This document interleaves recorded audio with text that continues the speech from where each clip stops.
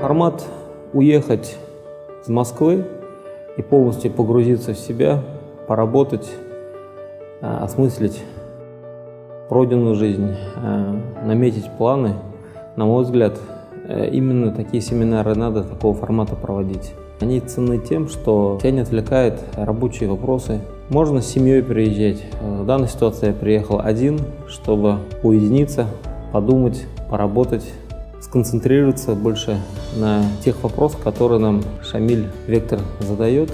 На мой взгляд, каждый должен быть профессионалом в своей области. Шамиль, он профессионал именно семинаром по такого вида, как целеполагание.